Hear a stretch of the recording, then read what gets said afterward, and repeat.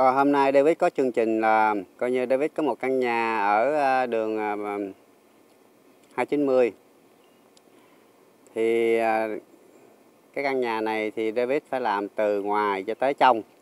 Thì bây giờ David đã làm hôm nay được là hai tuần.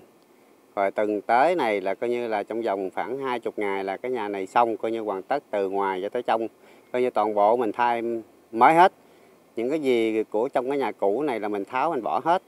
Thì mình làm lại buồng tắm, nhà bếp, lo, coi như là cửa, rồi những cái handle cho cái à, toilet này kia, rồi à, kitchen này kia.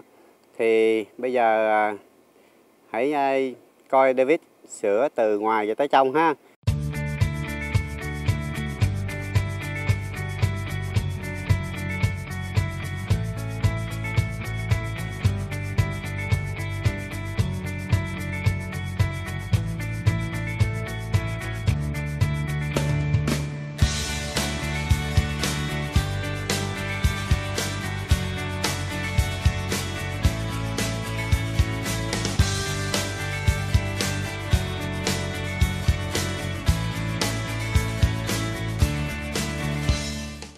Thì đây là một cái ờ, gara. Thì hồi đó đây là đồ đạc coi như này kia thì David cũng phải uh, remodel lại ở trong gara này chút.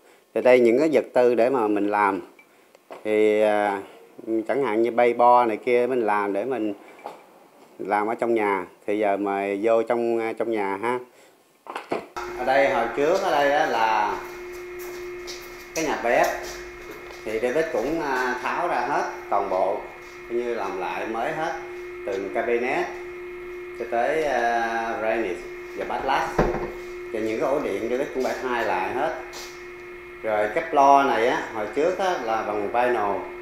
Thì bây giờ mình cũng làm bằng thao bằng gạch lại. Coi như là mình cũng design theo cái kiểu mà tại vì khu này nhà nó hơi uh, có giá một chút á, thì mình làm có cái oven với cái cooktop thì với cái xin mình làm cũng cho nó đẹp một chút. Thì hồi đó ở đây là cái phòng living room á, thì là nó là bằng bundle thì nó bằng dán ép loại một một quarter đó. Thì giờ mình làm như vậy á, thì cái phòng khi mình lên một cái nhà như vậy thì nó nhìn nó không có đẹp. Với cái lò sưởi này hồi trước đó, tự dưới đất đó đi lên tên tới cái ceiling nó là, là gạch không à. Thì bây giờ mình cũng phải design lại nhìn cho nó đẹp một chút thì David cover lại siết róc toàn bộ những cái bundle này. Rồi cái cái gạch này á, trong cái lò sưởi của mình á, thì mình phải design lại cho nó đẹp chứ mình cover lại cái siết róc. Rồi mình thổi texture lại ở trên. Thì mình làm cái bệ này á rồi ở dưới mình dán cái gạch cho nó đẹp cho thành một cái lò sưởi. À, hồi trước là buồng tắm nó cũ thì mình à, phải làm lại coi như toàn bộ cái nhà này là buồng tắm rồi toilet mình cũng phải thay. Rồi mình lót lại cái gạch cũ của nó, mình bỏ đi. Rồi mình làm một cái sinh mới. Rồi cũng à, toàn đồ mới hết, cabinet. Những cái cửa thì mình cũng phải thay hết, thì cho cái căn nhà mình nó đẹp hơn. Cái à, cái entry chỗ này hồi trước nó là cái gạch cũ, nên mình cũng tháo, mình lột lên, mình lót cái lại cái gạch mới. Rồi à, mình sẽ thay cái bộ cửa này mới, toàn bộ cái này mới hết để cho cái phanh đo cho nó show up cho nó đẹp.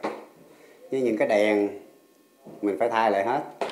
Mình chuyển đèn lại hết, coi như mình đổi tất cả những cái đèn trong nhà. Ở đây thì là cái cái half bed cái à, cái toilet và cái xin thôi. Thì mình cũng thay mới hết toàn bộ. Rồi cửa mình cũng thay. Nói tóm chung là cửa nhà này mình phải thay hết toàn bộ. Coi như không có chừa cái cửa nào ở trong cái nhà này hết rồi ở đây thì cái cửa à, bed door thì mình đã thay rồi. Thì mình thay cái cửa mà nó có cái mirror ở trong á chính giữa đó. Thì cho nhìn nó nhà mình nó sang hơn chút nó đẹp hơn chút. Dưới đây à, bây giờ mình lên cầu thang.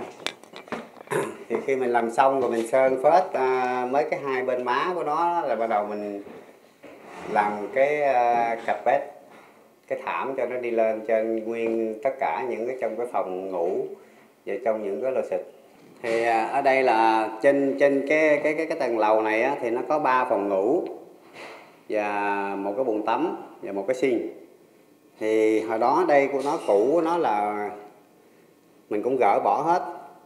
Thì giờ mình phải làm lại coi như trên đây mới lại. Những cái cửa mình cũng phải thay hết. Thì David làm cái nhà này hôm nay là cũng hai tuần rồi. Giờ còn một tuần nữa là coi như xong cái nhà này. Coi như là từ trong ra tới ngoài là đúng 3 tuần coi như làm không nghỉ luôn đó. Như làm liên tục thứ bảy chủ nhật thì làm luôn. Thì căn nhà này thì David làm thì nó từ đằng trước ra tới bát gia. Thì nó tóm chung là sai đinh, one by four one by six những cái rúp của nó bị hư này kia. Thì khi mà cái nhà này mình mua là toàn bộ coi như là ASX thì tới hôm nay David sửa lại coi như là làm từ ngoài cho tới trong.